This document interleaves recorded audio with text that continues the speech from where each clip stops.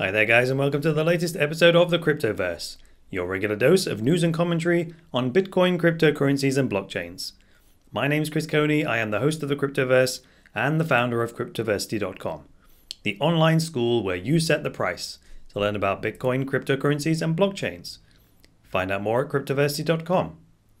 If you'd like to support the Cryptoverse, please go to Cryptoversity.com forward slash podcast and subscribe on iTunes, Stitcher, Google Play, YouTube, or Steemit. You can also upvote this episode of the Cryptoverse on Steemit to financially support the Cryptoverse at no cost to you. If you'd like to donate some Bitcoin directly, you can do so at the bottom of that page. Let's take a look at the markets this morning. We have one major move in the top 10, and that would be Ethereum Classic. In the last 24 hours, it's shaved 30% off of its value, putting the overall market cap at 123 million point seven, uh, 123.7 million dollars. It makes an Ethereum Classic token worth one dollar and fifty cents. The trading volumes between the two Ethereum chains is about the same. It's around 44 million dollars, with the main Ethereum chain being slightly more trading.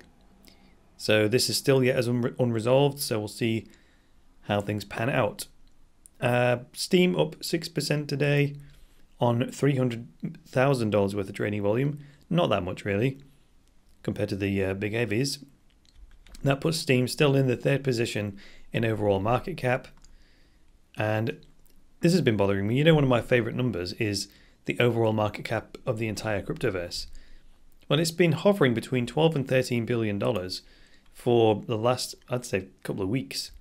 And uh, that annoys me because I want to see a steady incline on that to show that the whole cryptoverse as a, as a whole is growing and more money is coming into it. But either way, it's never standing still, as you'll imagine. Um, even when the market cap is standing still, pretty much all of the crypto projects are continuing to develop uh, new features and so on. And you know the old dark horse Dash sat there in seventh position as the most capitalized coin. It's actually up three percent today, but there's um there's a, if you watch um, Amanda's show on Dash Detailed, she made a good point. I think it was last week in the episode about sl- um, slow and steady versus fast and hard or something. That was the episode's name, and she was talking about the sort of the tortoise and the hare type thing, and the Dash is sort of the hare. They are doing the long, hard development process of you know putting the big solid blocks in place for a really solid um, infrastructure for, for the long term rather than just being a uh, something based on hype and then pushing the price up and all that lot. Dash will steadily increase in value over time based on fundamental solid um, foundations. So there we go. Looking at the Bitcoin price chart, yeah, nothing to report there. It's still steady sticking around uh, $653 today. And uh, the bars seem to be getting smaller actually as time goes on. Well, actually, that probably means I can draw, uh, um, what do you call it? A uh, an ascending triangle. Some people call it a something else. A penta, do they call it? Let's see. Let me just draw this on here. If you want to see this, you can have a look at the YouTube version of the Cryptoverse. Eh, Maybe. Maybe it's a symmetrical triangle, which will, looking at this, because it came into the triangle in an upwards direction, is more likely to explode out of the triangle in an upward direction. But I'll leave those lines there for tomorrow and a few days after that so I can see if it obeys those lines. In terms of the news today, courtesy of Bitcoin.com and Jamie Redman, who has written this article, I've chosen to share this one with you. It's the, the article reads Decentralized Uber app delivers 1,000 meals in Austin, Texas. Now, this is more of a uh, an article with substance. It's not as it's not filled with so much excitement as the the drama with Ethereum, for example, but this is somewhat more meaningful. So I thought I'd pick this one out today. So unsung.org, an Austin-based arcade city, which is the decentralized Uber app, right? So Unsung, Unsung.org and Austin-based Arcade City are making a difference feeding people in need within the Texas capital. So far, the two teams have delivered 1,000 meals throughout the city as the ambitious project continues hacking away at hunger. 1,000 meals delivered in Austin. Unsung.org is an application that feeds the hungry by delivering unwanted food from local caterers and restaurants. The application gamifies the solution by adding Bitcoin to the equation, as well as users can be rewarded by using sorry by the Unsung community for good deeds. Back in June, Bitcoin.com reported on the anti-hunger application Unsung.org, teaming up with Arcade City's platform in Austin to experiment with the Unsung app. Recently, Unsung.org, with the help from a local radio station, The Crypto Show, teamed up with the Arcade City community. The decentralized Uber platform is a ride sharing service that partnered with Unsung.org's Jason King, and Arcade City's drivers are helping to deliver meals across the city of Austin. King's first project, Sean's Outpost, has fed over 167,000 meals. Uh, has fed over 167,000 meals. Shouldn't that be people? Over the course of Satoshi Forest's existence. Huh? Okay, they've just made reference to Satoshi's Forest in this article for the first time without defining it, but that's by the way. Now the platform being used in Austin has proved 1,000 meals so far to the hungry. Hang on a minute, now I'm confused. So recently, Unsung.org, with the help of the radio broadcast The Crypto Show, teamed up with Arcade City, teamed up with the Arcade City community, right?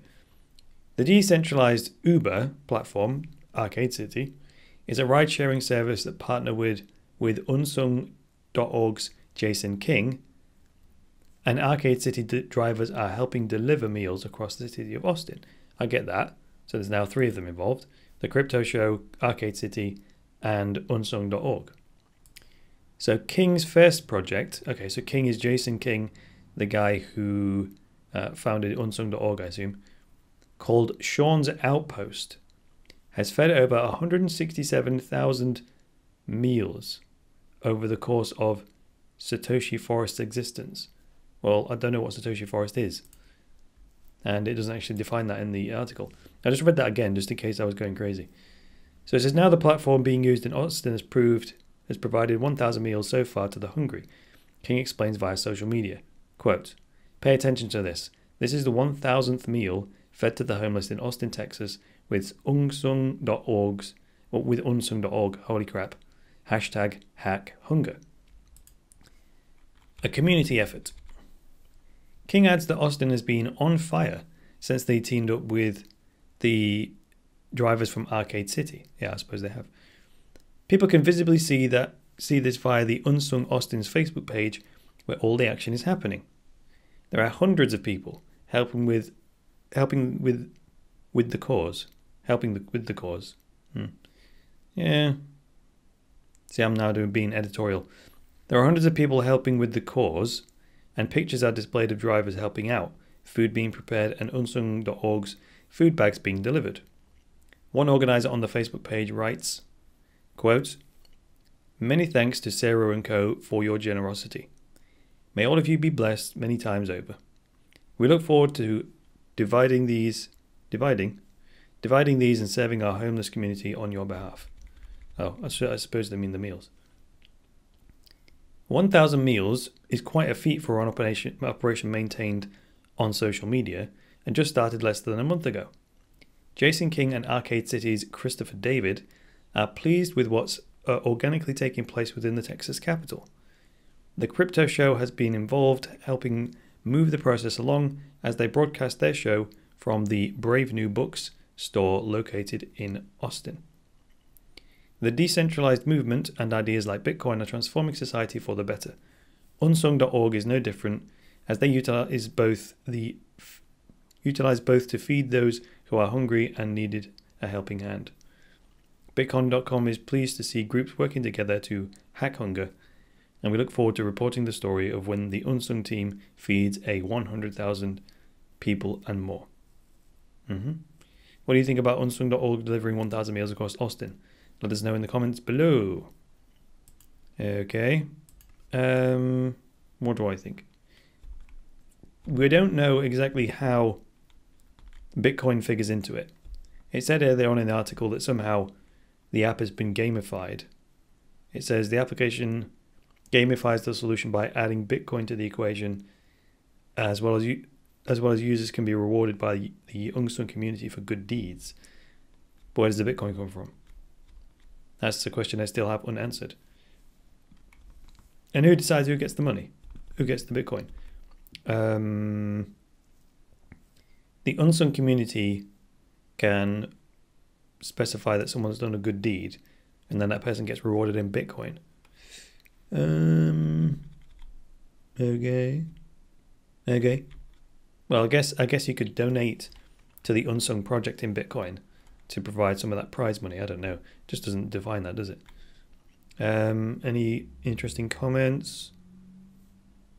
Someone's like, "Have you considered posting your work on Steemit?" Yeah, that would make sense, wouldn't it? But you know, you know, Uber have that service, Uber Eats. If you if you have Google if you Google that Uber Eats, they um, they've just added this additional service where an Uber driver will go and get your takeout food and bring it to you. So instead of you transporting yourself somewhere else, you can use the Uber network to transport stuff to you.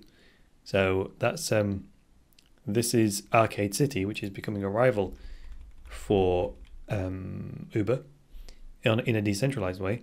And then they're actually, rather than just using it to bring people takeout food, they're using it to collect what would have been waste food from these takeouts and these restaurants and then driving it to homeless people, which is cool, right? So let's see if we can uh, squeeze another article in today's episode. Let's see, is this a new one? This, I think this has literally just been published because I didn't see that before. Ethereum creator interest in ETC coming from the Bitcoin side. Really? We have uh, Loyyal creates blockchain style internet of loyalty in Dubai. Hmm. Uh, decentralized Uber app, we just did that one. Bitcoin whales vote in favor of larger transaction blocks. Oh, I'm sure that's going to be interesting. Let's do that one. The sort of a Moby Dick style uh, graphic that they've used to uh, for the for the article. Yeah, this is this was published yesterday, the 27th of July, and uh, it's been read four and a half thousand times, which is quite high for Bitcoin.com's articles. And there's 14 comments, so that's a good sign. So it's Bitcoin whales vote in favor of larger transaction blocks. Let's see what the article says. There are signs a majority of the Bitcoin universe's opinion is shifting in favor of larger transaction blocks after an overwhelming poll vote. The issues, uh, so the, the issues and Bitcoiners' reaction to them were recorded on blockchain opinion poll site Bitcoinocracy. Bitcoinocracy. Huh. Bitcoinocracy, I quite like that idea. The site allows Bitcoin holders to vote on any issue posted by users, signing statements with their Bitcoin keys so that results are verifiable. Hmm, I like it. You can already see a um, blockchain based political voting scenario on the go there. It says Whales add weight to vote. Of particular interest were two addresses containing significant amounts of Bitcoin voting with the majority. On Bitcoinocracy, results are tallied according to the total amount of Bitcoin backing or opposing a statement. So larger holders matter a lot. Well, yes, it, the article is about whales, but this is more of a proof of stake kind of voting system, isn't it? Rather than proof of work. It says the whale addresses where this one, and it has a link, containing over 41,748 Bitcoin, and this one, link, with 44,998 Bitcoin. The questions addressed many key concerns regarding what might happen in the event of a Bitcoin fork, with some politically charged wordings. Questions voted on by the large holding addresses were I doubt that unlimited block size is bad for Bitcoin because, because it diminishes incentive to pay fees and in the long term it makes mining unprofitable.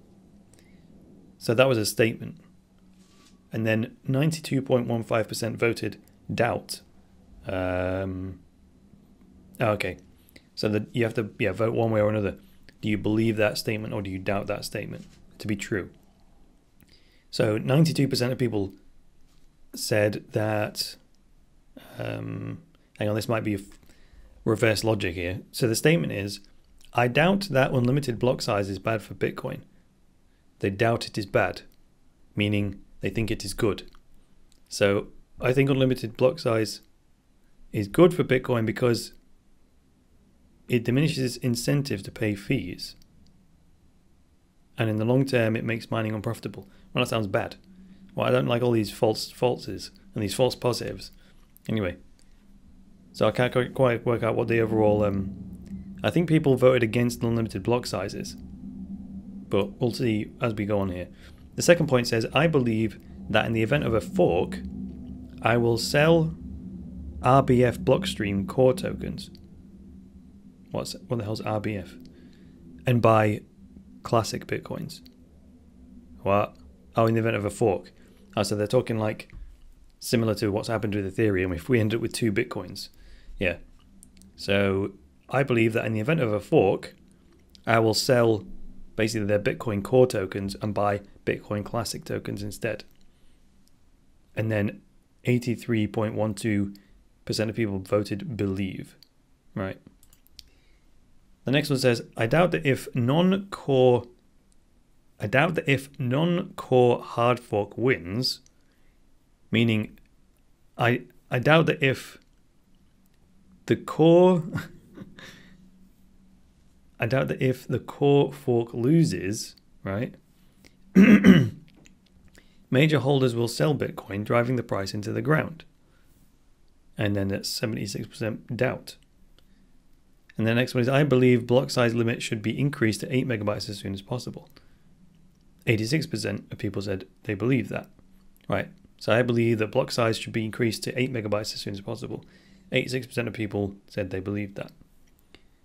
And then, um, and this is by large holding addresses specifically though. So it says, I believe that micropayment channels and other tools can help Bitcoin reach all applications for money without compromising Bitcoin's most valuable properties. Yep, 94.76% of people believe that. Okay, so the the statements as I read them were already swayed towards the result that they got. So if they start out with I doubt, um, it means that was that was the outcome rather than rather than the statement being voted on. Yeah. So yeah, what what I what I would do with that, this article if I was writing it, I would have listed it like statement block size limit should be increased to 8 megabytes as soon as possible. 84% or 86% people believe that to be true. And then micropayment channels and other tools can help Bitcoin reach all applications for money without compromising Bitcoin's most valuable properties. 94% of people doubt that statement, right? So moving on, never go full Ethereum. The recent drama in the Ethereum community led to concerns that a similar disputed fork in the Bitcoin blockchain could result in rival versions of Bitcoin. Yeah, which would likely drive prices down. Um, just quick check on that one.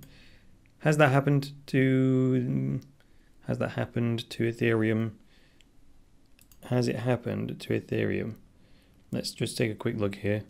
Say over the last seven days. Well, not hugely. There has been a bit of a decline over the last seven days. Um, I think the hard fork happened. Hmm. Where was the peak for Ethereum? The 23rd of July. Yeah, maybe it has caused a bit of a decline. Okay, I agree with that then. In Bitcoin's case, the argument is somewhat different.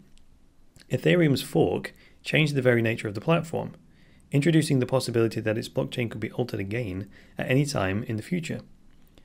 This removed the perception of total trust in code that supposedly underpins the smart contract concept. Ethereum Classic fans say they are simply voting to keep the blockchain immutable. That's my point. I agree. A Bitcoin disputed fork over block sizes would not have the same effect. Some might argue that Bitcoin with 2 megabyte block sizes is no longer pure Bitcoin though the change is obviously less fundamental. What is your opinion? Vote at Bitcoinocracy and tell us why you decided in the comments below. Hmm. Okay, so you can actually continue to vote on this. Bitcoinocracy. Bitcoinocracy.com. Let me open it up and have a quick look. Okay, it's fairly basic. Bitcoinocracy, vote with your Bitcoin signature. Bitcoinocracy offers free and transparent voting mechanism to facilitate decentralized decision making in the Bitcoin ecosystem and to determine the truth backed by real monetary value. Submit your argument or check the existing ones. Right. So, there's all these kind of tabs, popular, blah blah blah. The first one is controversial. So it says if non-core hard fork wins, major holders will sell BTC, driving the price to the ground. Um, okay, so say yeah, if a non-core client becomes dominant, so say Bitcoin Classic or Bitcoin Unlimited gets to, gets such adoption that the Bitcoin blockchain forks in that direction because there's a majority of uh, miners, exchanges, nodes running that particular software. So if that happens, if it forks in the direction of a non-core, it says major holders will sell their Bitcoin, driving price to the ground. So that's saying that do you believe that the whales in Bitcoin are do they derive their confidence from Bitcoin Core? That's basically what it's saying. Do you believe that to be true or not? So it's saying that if we if we fork away from Bitcoin Core, that's going to spook the whales and they're going to sell all their Bitcoin, which means that the price of Bitcoin is going to go down to the ground. Now, there's it says six what is this 60 62,870 Bitcoin is listed as, as the total amount that's been used to vote on that. And it says minus 62,000. So is that a big disagreement? Yeah. So people do not agree that whales are deriving their confidence from Bitcoin Core. Most people think that, according to this, and if I'm reading this right, most people believe that if Bitcoin forked away from Bitcoin Core, the whales would be fine with that, right? And how do we know that? Well, because some, some whales have actually voted on that very thing. It's not people giving opinion about others. This is people giving th- their own opinion about what they would do with their Bitcoin, I suppose. Um, the block size limit should be increased to 8 megabytes as soon as possible. Okay, that one's green. And 84,584 Bitcoins has been pledged um, and it's green. So that means people agree that the block size should be increased to 8 megabytes as soon as possible. Wow, and there's all kinds of things here. The status quo is better than BIP 101. Uh, and then there's another one. The BIP 101 is better than the status quo. They're two separate ones. A one-time increase to 8 megabytes would be better right now than 4 megabytes. Mm, only 1,217 people, uh, bitcoins agree with that. Where, where are the big humdingers? Wide consensus doesn't mean anything if it was achieved by censorship. yeah, that's funny. Um, I just want to look at the big, big, big ones. Now let's go to the popular tab and see what happens. So the, the one that's got the most pledged on it is uh, 83,925 bitcoins. And this is, people agree with this. So it says, in the event of a fork, I will sell my RBF Blockstream core tokens and buy classic Bitcoins. I think what that's talking about is if what happened to Ethereum happens in Bitcoin, if someone steps in and then tries to artificially fork the network and essentially create a, centralized decision making you know, intervention, then people are like, no way, right? they would they would just sell the manipulated the coins on the manipulated chain and buy what would become Bitcoin Classic. Uh, that's confusing because there already is a Bitcoin Classic, but Ethereum Classic is the unmanipulated chain. So most of these people are saying that they want to be part of a Bitcoin that isn't manipulatable or manipulated. They believe in um, the immu- immutability of the blockchain, and they would um, trade their coins for that. Anyway, you can check this out yourself. I'm not going to bang on about it for a long time.